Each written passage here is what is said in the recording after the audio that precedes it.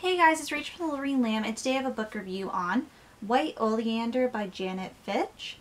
I really enjoyed this book. I feel like I've read it eons ago though because this review is very late. This one was one I was looking at my list and I just kept going past it for some reason when like I look at my Goodreads challenge to see what books I have to review.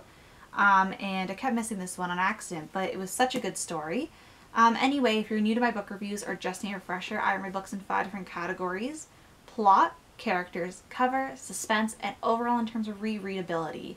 So, with five being the best and one being the not as read rereadable. Yeah.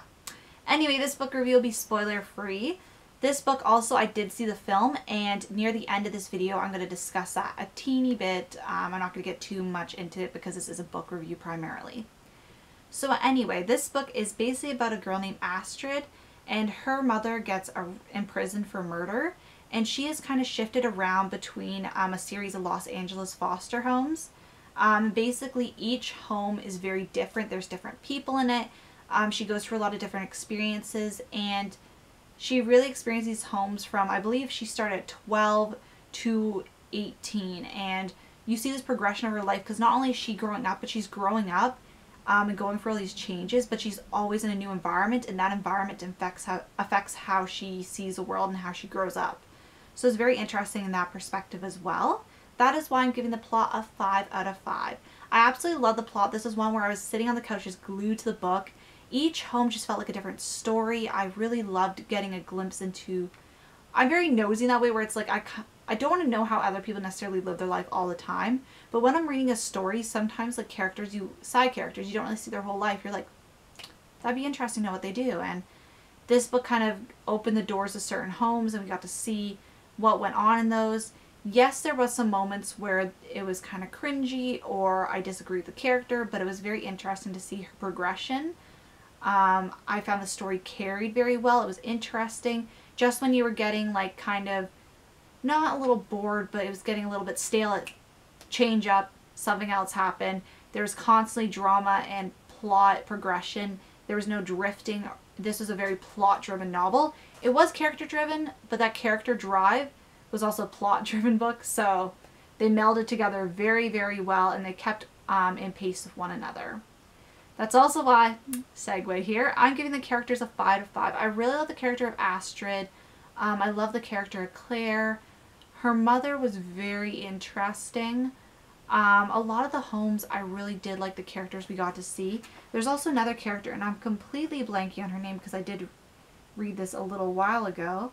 Um, but this girl, um, she was one of the neighbors.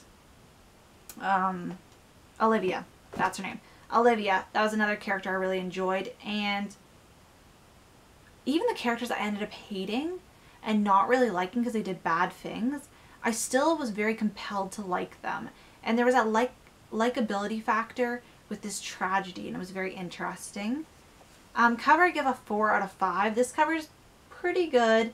Um, it's just like it's very aesthetically pleasing where it's like the black and white it kind of looks like old Hollywood but then also it's like just a back and it kind of looks like changing like what I would if I was going to say like write something on this, like what it reflects in the book, I'd say like kind of the changing of like it looks like the girl's undressing. It looks like changing of a dress, changing a personality. There's a lot of change, and that's represented by the dress. That's kind of where I go with it, so that's kind of why I like it.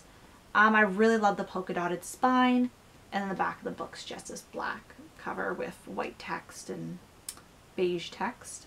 Um, overall, I give the book a 5 of 5. I definitely reread this one again. I do forget stuff, obviously, because so much happens in this book. It is, like, over 400 pages, but so much happens that you could definitely give this a reread and see something else or appreciate something else in the book, and that's partly to do with the main character, Astrid, who I really do like. Um, so after talking about the book, I really enjoyed the film. I thought the film did a great job um, I really loved, they took a scene from the ending of this book and put it at the beginning of the film, panned over it, so you kind of got an overview what's going to happen in the film. They did cut out some of the homes that she did go to, but they did that scene. I thought that was really great, how they took that ending scene, put it in the beginning, and it made everything come full circle, and then showed it back at the end. It was just beautiful piece of work and I really loved how they did include that part because there is some aesthetically pleasing things.